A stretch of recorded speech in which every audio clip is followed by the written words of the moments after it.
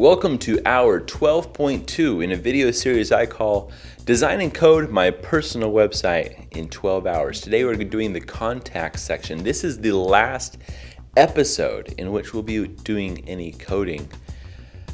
And I'm just so excited. Let's just get straight into it.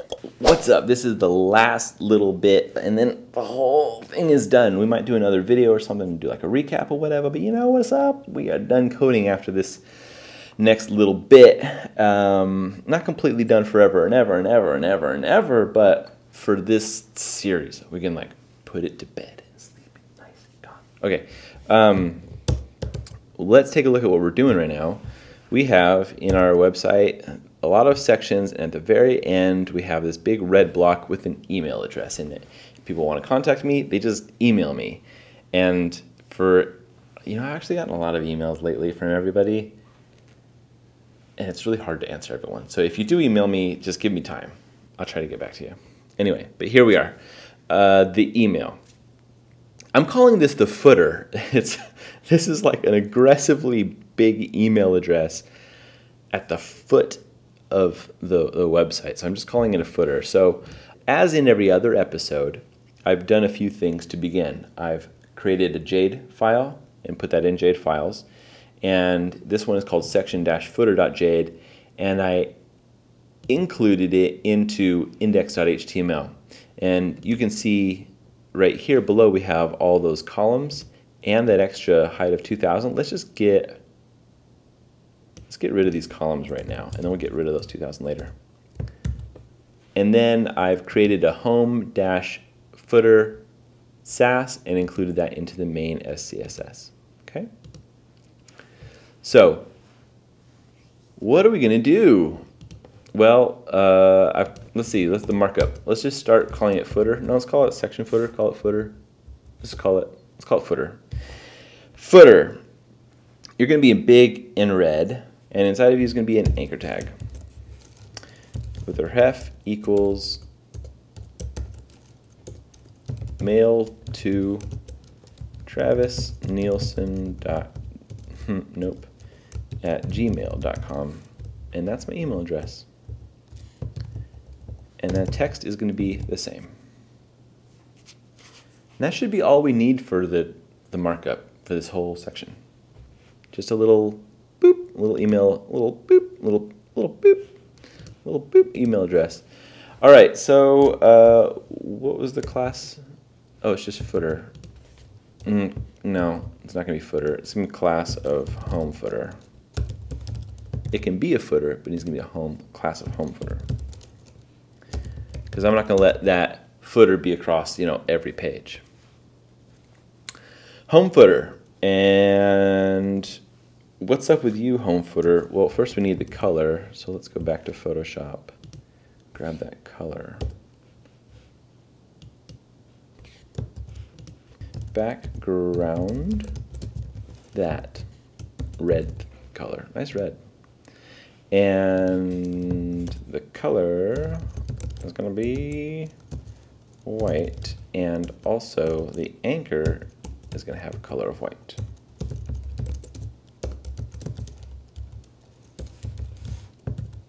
Boom. Hmm. Uh, let's say text. No, you know what? You know what? You know what? You know what? Oof. I want the whole thing to be a button. So I don't want the background. I don't want. I don't. I don't want that stuff there. I want the. You know what I mean? Like I do want that color though. Where's that color? Okay let me get rid of this stuff. I'm thinking that I want the button, I want all this red to actually be the button. The big clickable thing is going to be the red. So I'll say background on that thing, on that, on this anchor. So, uh, so that means it needs to be display block. And its width needs to be 100%. And its uh, height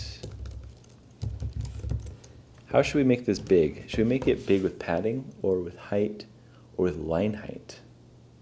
Line height. That'd be good. Line height is going to be like 3. Uh, text align. Center. Now this is all a button. Look at that big old button. Big old button. Uh, let's get the font size 60.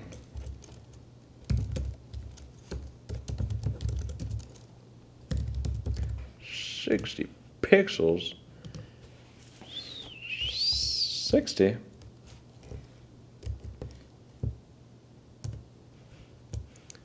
And is it like weight light? Font weight 300. Oh, I don't think we have the, the lightweight from Google. Mm, I guess you'll just be regular. I guess you'll just be not. I don't. I don't want to import a whole font just for one word. Do I? Nah, I don't. Um, but I want that line height to be like six, yo. Yeah, that's better. And let's say, and hover.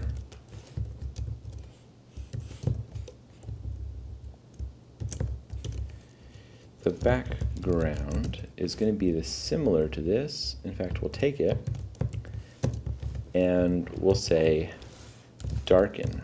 And this is a Sass function here.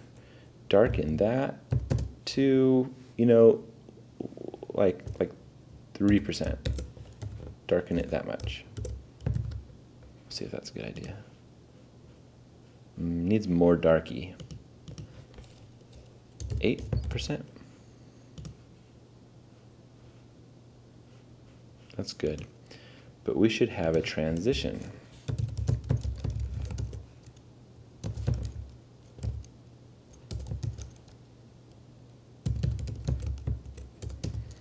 Uh, 300 milliseconds and uh, ease in, out.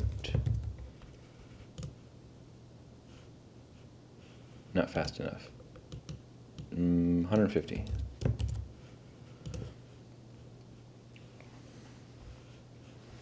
Okay, we still have all this space at the bottom, and that comes from this right there. So let's get rid of that.